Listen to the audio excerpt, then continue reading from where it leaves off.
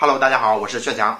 上期视频咱们开箱了白光全彩智能警戒摄像机，没有看过的可以翻一下上期视频。这期视频咱们看一下这个智能全彩摄像机，你看这个模样呢，和这个真全彩摄像机，它俩是一样的，它就是在真全彩摄像机的基础上多了 AI 智能警戒功能。咱们开箱看看吧。智能全彩摄像机，然后人车检测、声音告警、远程喊话、快速回查，咱们看一下啊。看一下型号，上面就是它的型号啊，四百万像素，PoE 供电，四毫米焦距。你看这写的真全彩警戒，打开看一下。这款功能比较多，你看这个插头，说明书这上有个扫二维码，它就可以有个视频的操作步骤啊。这个防水头，然后主机拿出来，然后咱先看前面啊，左右两颗暖光的补光灯。这是拾音器的孔啊，然后反过来，这下边呢，这个是内置扬声器，也就是喇叭，这里边是可以放 TF 卡的啊，拆开看一下。好，拿掉了。这有个复位按键，这儿有标注啊，这里边是插 TF 卡的。这盖子上这层这是防水的胶圈。下面看一下它这个尾线分别啥功能？这个呢接网线的，接水晶头的。这个虽然是 PoE 的，但是它仍可以十二伏直接供电，这是供电的，和普通这个摄像头一模一样。这两个，然后这个呢，半音输入输出这上都有标志啊。输入的话，咱们可以外置高灵敏度的拾音器，这就是个拾音器。输出的话，可以接有源音箱等啊。这个呢是报警的输入输出，比如说报警输出接一个报警器，这就是一个报警器啊。这个呢是十二伏输出，写的有，它支持电源反送功能，什么意思呢？比如我们用 PoE 供电的话，我们一根网线过来插到这个位置，一插，摄像头就可以正常工作了，并且呢从这里输出一个十二伏最大一百毫安的电压，这是干嘛用呢？你外接拾音器的话，你就不用单独再加十二伏电源了，直接从这里取电就 OK 了，比较省事儿。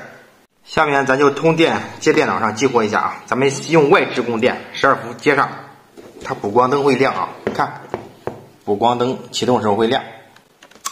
线已经接好了啊，下边我挂了一个万用表，是为了模拟外接报警器啊。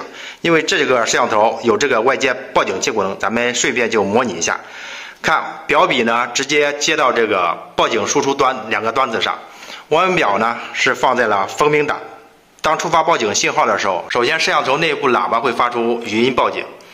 同时呢，报警输出端子它会有常开状态变成常闭状态，所以说咱这个万用表呢就会发出滴滴滴的响声，然后呢这个指示灯也会亮，咱们来验证一下，怎样激活摄像头就不演示了啊，以前也分享过，咱们直接来画这个触发区域，点这个检测区域，画一个黄色的框框，当待会儿呢我走进这个区域时候，它就会报警，触发这个报警。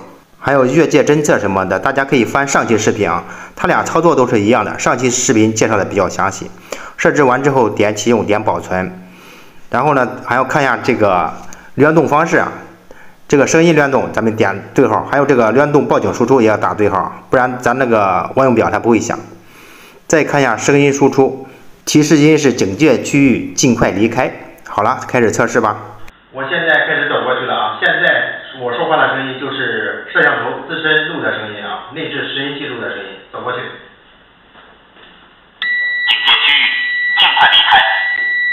现在滴滴响是万用表的蜂鸣档在响，然后我等它响完，我再走一遍。好，我再走一遍。警戒区域，尽快离开。给大家看一下我这个拍到的万用表那个画面啊。现在咱们把人体变成车辆，它肯定不会再报警，试试。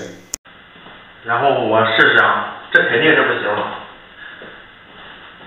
看，没反应啊？这是最基本的要求。现在呢，我又把上期视频中咱们测试的白光全彩智能警戒摄像机呢装上去了。它和刚才咱们测试的摄像机呢，还有一点不同啊。当晚上你把这个补光灯设成智能补光的时候，一旦触发报警，它这个白光灯会亮起来，有一个很好的震慑作用。咱们来测试一下。我现在这个手机呢，拍着摄像头，待会儿画面会出现在屏幕的左边。然后呢，我去越过这个线，它这个补光灯就会开启啊，画面就变成彩色了。看，变成彩色了吧？这假如是个小偷的话，不得吓他一跳啊！又开灯又说话的。这是我同事家的后院，现在准备给大家演示车辆离开区域侦测。现在天不够黑，等天完全黑下来之后呢，咱们来测试一下，顺便呢看一下真圈仔它晚上这个画面的效果。这是天黑了，九点多，这是手机照出的画面啊。看这个摄像头呢，补光灯是没有开的。电脑上摄像头的效果是这样的，你看这个效果很好啊。然后咱们切换到录制的效果啊，电脑录制的，也不能光测试人物侦测啊。我在屋里走来走去，我都走烦了。所以说专门找个晚上，晚上啥意思呢？就是能看到真全彩它晚上拍出的效果。咱们这次设置的是。车辆离开区域侦测啊，当这个白色车离开咱们所画的侦测区域，就是蓝色这个正方形出去之后，它就会语音报警啊。大家注意看。警戒区域，尽快离开。好了，也感谢同事的付出。好了，给大家展示完了。这个呢，同样也支持手机远程对讲。在介绍这个白光全彩智能警戒机的时候，给大家演示过，就不再展示了。大家可以翻前面视频。